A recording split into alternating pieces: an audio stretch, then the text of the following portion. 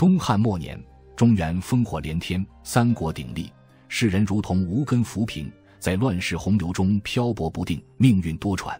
在这片动荡的土地上，有一位将军，出身显赫，本应享受无尽的荣华富贵。然而世事无常，家族突遭变故，父亲惨遭杀害，母亲亦被掳走。年幼的他面对着突如其来的命运转折，又将如何改写自己的人生轨迹？古语有云：“天将降大任于斯人也，必先苦其心志，劳其筋骨，饿其体肤，空乏其身，行拂乱其所为。”所以动心忍性，增益其所不能。三国时期便有这样一位名为秦朗的将军，他的一生正是这句话的生动写照。当我们深入探究他的生平，不禁要问：这世间又有几人能甘愿承受如此深重的苦难？秦朗诞生于东汉末年，那是一个天子示威、群雄并起的时代，中原大地饱受战乱之苦。相较于那些颠沛流离的百姓。秦朗的童年生活相对安逸，他的父亲秦一路乃是名将吕布麾下的一员猛将，镇守下邳，家境颇为殷实。那时的秦朗拥有一个温馨和睦的家庭，父亲性情温和，母亲姿色出众，他自幼便沐浴在父爱的光辉之中，备受呵护。同时，作为吕布的部属，他们一家也享受着旁人不敢轻易侵扰的安宁。年幼的秦朗。对吕布的英勇善战充满了敬仰之情，他梦想着有朝一日也能成为那样一位驰骋沙场、以义当百的大将军。然而好景不长，这份宁静美好的生活在他五六岁时戛然而止。曹操大军压境，打破了原有的平静。原本吕布与刘备联手，足以让曹操和袁绍等诸侯忌惮三分，但二人之间却因利益纠葛而反目成仇。吕布欲与袁术结盟，刘备却趁机夺走了吕布的战马，导致双方关系破裂，兵戎相见。曹操见状，趁机发难，以救援之名攻占沛城，俘虏刘备。随后，曹操的军队将下邳城团团围住，长达三月之久，城内人心惶惶，末日将至的阴影笼罩在每一个人的心头。面对绝境，吕布派遣秦一路秘密出城向袁术求援，然而。这一去便是永别，秦朗的命运也因此发生了翻天覆地的变化。联姻之事已然尘埃落定，而袁术则深陷刘表、孙策与曹操的夹缝之中。吕布一旦防线崩溃，袁术之命运恐将岌岌可危。秦一路离城之后，吕布与其子秦朗皆翘首以盼，望其能速速搬来救兵，解救下邳于水深火热之中。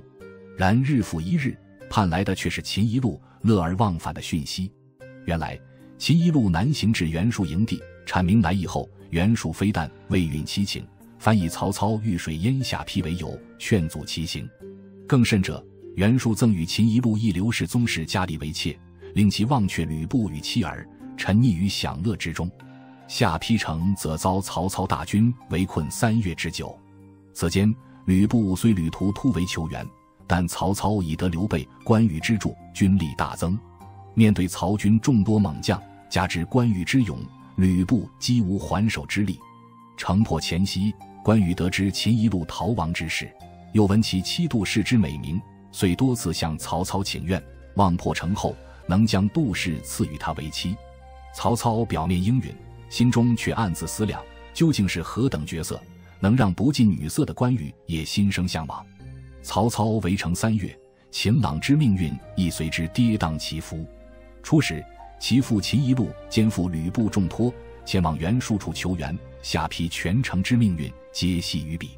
吕布及麾下将士对秦家多有照拂，然秦一路久居不归，众人对秦家之态度骤变。秦朗心中之痛更甚于外界之讥讽，他难以接受父亲竟成懦弱之辈，自幼视父为英雄。而今父亲之行径却彻底颠覆了他的认知。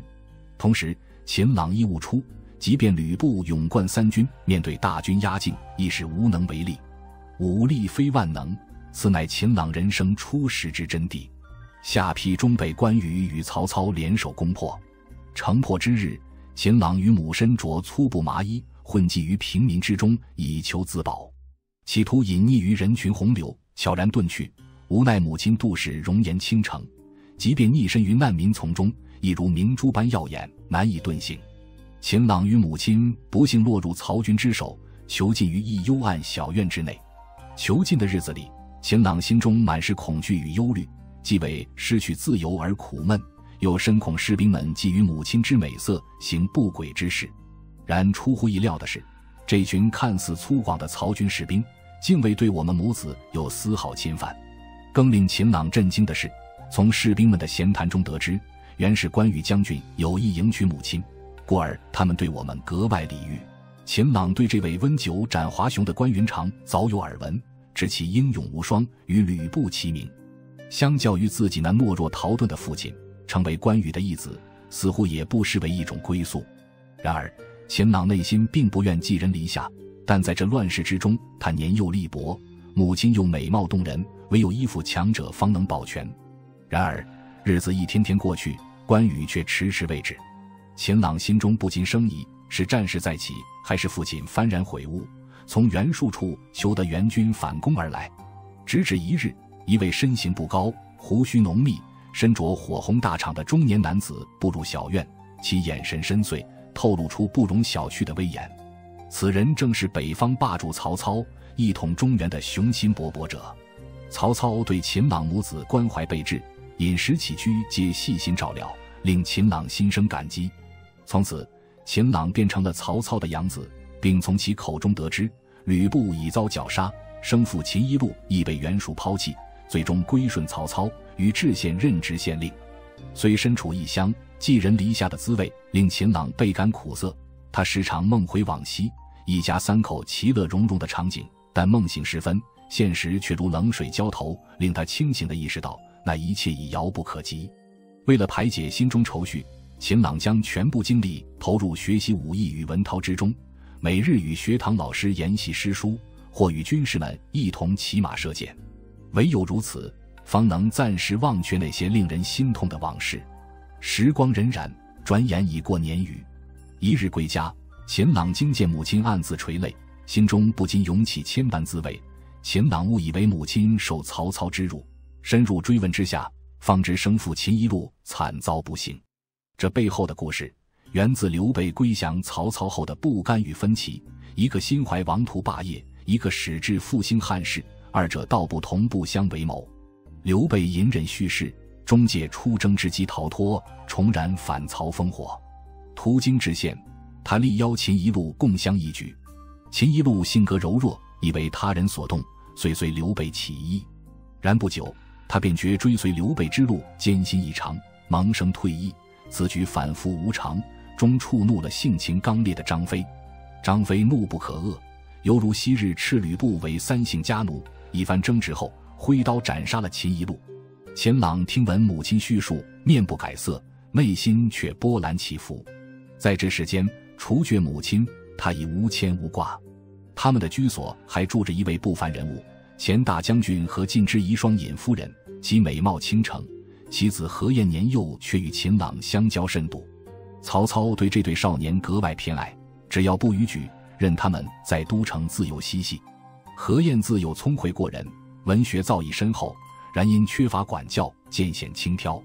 秦朗虽也勤勉向学，却自愧弗如。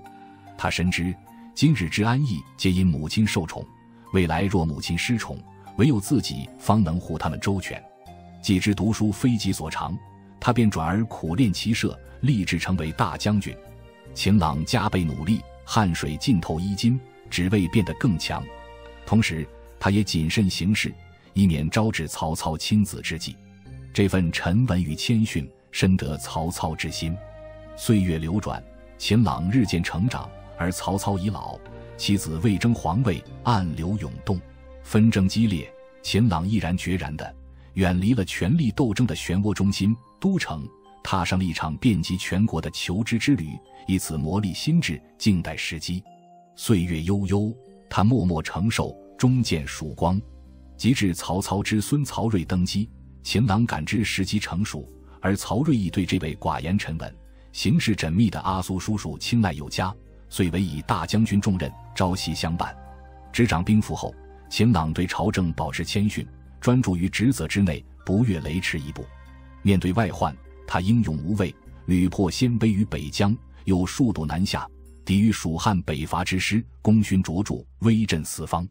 审视秦朗跌宕起伏的一生，不禁令人深思：在逆境中能够如此坚韧不拔，最终实现命运逆转者，世间能有几人？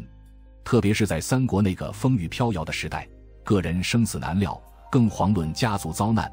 秦朗却能在父亲遇害、母亲受辱的沉重打击下，依旧保持自强不息之志，实属难能可贵。因此，无论身处何种低谷，我们都应坚信。只要不放弃努力，持续奋斗，终将迎来属于自己的转机，从换生机。